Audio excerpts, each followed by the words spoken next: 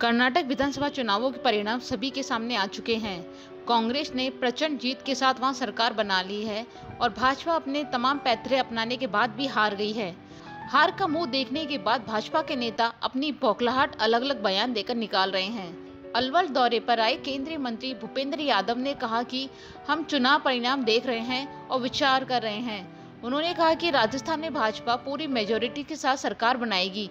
इसके लिए पार्टी एकजुट होकर काम कर रही है।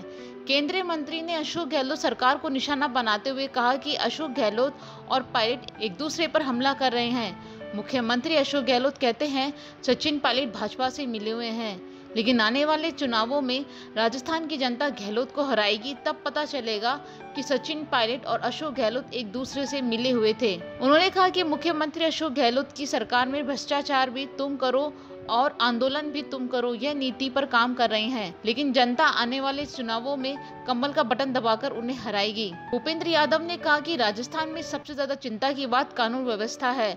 अलवर में सबसे ज़्यादा रंगदारी और फिरौती का नया कल्चर पनप रहा है। इससे पुलिस का आरोपियों में डर खत्म हो चुका है, लेकिन सरकार चुप बैठी है। इसके साथ ही केंद्रीय मंत्री ने जयपुर बम ब्लास्ट मामले को लेकर कहा कि गहलोत ने सही तरीके से लड़ाई नहीं लड़ी, जिससे सभी आरोपी बरी हो गए। अब जयपुर ब्लास्ट में कोई भी आरोपी नहीं है।